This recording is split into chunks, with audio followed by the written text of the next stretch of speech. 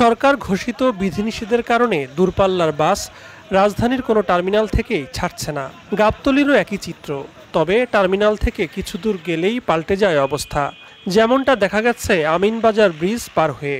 এখানে সড়কের দুই পাশে সারি সারি বাস, লেগুনা, কার, মোটরসাইকেল এবং ব্যাটারি চালিত রিক্সা দাঁড়িয়ে থাকতে দেখা গেছে।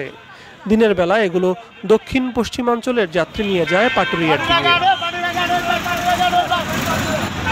পরিবহন সংশ্লিষ্টরা বলছেন, উত্তরাঞ্চলের বাসগুলো ছেড়ে যাবে সন্ধ্যার পর বাইপাইল ও চন্দ্রা এলাকা থেকে। তখন আবার এই যানবাহনগুলো বাইপাইল ও চন্দ্রার দিকে চলাচল করবে যাত্রী নেওয়ার কাজে।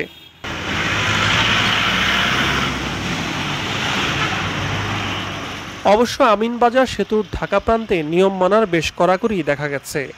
গাবতলির দিকে দারুসালাম থানার পুলিশ ও ট্রাফিক পুলিশের তৎপরতা ছিল চোখে পড়ার মতো। তবে সেতুর অপর পারে কোনো পুলিশি তৎপরতা চোখে পড়েনি।